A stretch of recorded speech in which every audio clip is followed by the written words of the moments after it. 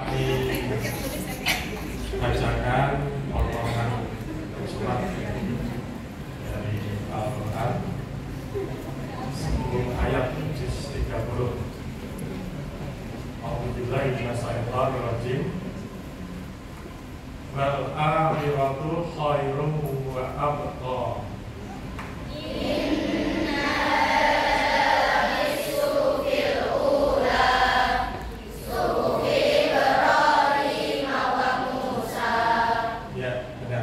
Alhamdulillah.